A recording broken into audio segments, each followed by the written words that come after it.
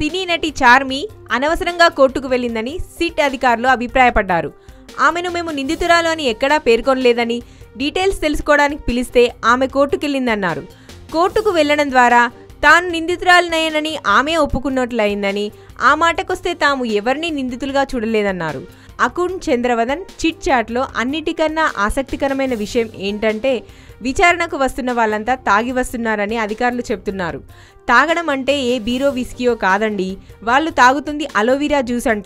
ఆ జ్యూస్ ఫుల్గా తాగి కడుపు మొత్తం క్లీన్ చేసుకొని వస్తున్నారని వారు చెప్పారు.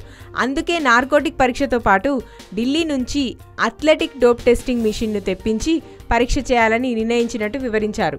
డ్రగ్ డ్రగ్స్ వ్యవహారంలో టాలీవుడ్ రెండు వర్గాలుగా విడిపోయిందని ఆంధ్ర తెలంగాణ ఫీలింగ్ తీసుకొస్తున్నారని కమిషనర్ డైరెక్టర్ అభిప్రాయపడ్డారు. అంతేకాక విచారణకు హాజరవుతున్న వారు కొత్త కొత్త పేర్లు చెబుతున్నారని అందులో బడా హీరోలు నిర్మాతలు కూడా ఉన్నారని అయితే వీళ్ళు చెప్పిన మాటల ఆధారంగా వారికి నోటీసులు ఇవ్వలేమన్నారు.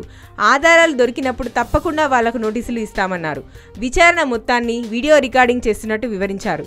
ప్రభుత్వానికి ఎప్పటికప్పుడు నివేదికలు అందిస్తున్నామని ఇంటెలిజెన్స్ కూడా దీనిపై పూర్తి స్థాయిలో నిఘా పెట్టిందని వారు వివరించారు.